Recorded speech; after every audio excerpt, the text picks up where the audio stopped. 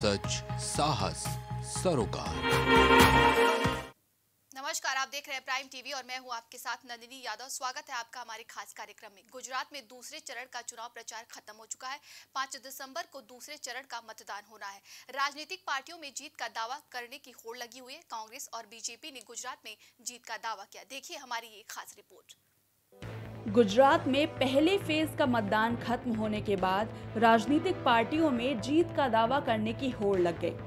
कांग्रेस और बीजेपी ने गुजरात में जीत का दावा किया है। दरअसल गुजरात में दूसरे चरण में 14 जिलों की तिरानवे विधानसभा सीटों पर मतदान होना है और दूसरे चरण में 833 प्रत्याशियों की किस्मत दाव पर लगी हुई है और 5 दिसंबर को दूसरे चरण के लिए मतदान होगा।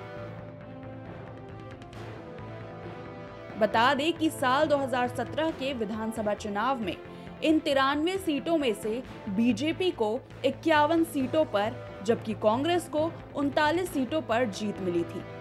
गौरतलब है कि इससे पहले गुजरात विधानसभा चुनाव के पहले चरण में नवासी सीटों पर 1 दिसंबर को मतदान हुआ था और पहले चरण में 788 प्रत्याशियों की किस्मत ईवीएम में बंद हो चुकी है। जानकारी के लिए आपको बता दें कि गुजरात में एक सौ बयासी विधानसभा सीटें हैं, जिसमें 13 अनुसूचित जाति 27 अनुसूचित जनजाति के लिए आरक्षित है और इस बार राज्य की एक विधानसभा सीट के लिए कुल 1621 उम्मीदवार चुनावी मैदान में हैं।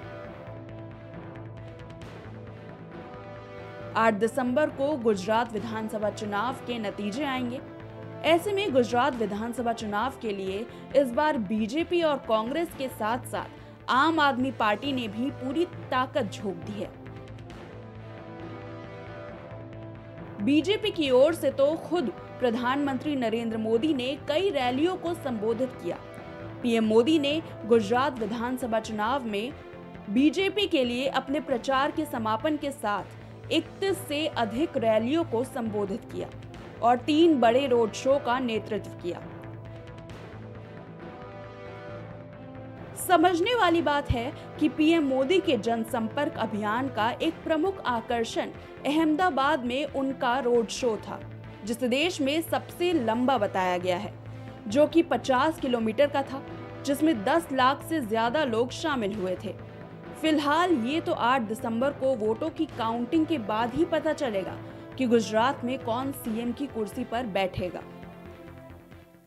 खास रिपोर्ट में बस इतना ही। देश दुनिया की तमाम खबरों के लिए देखते रहिए प्राइम टीवी।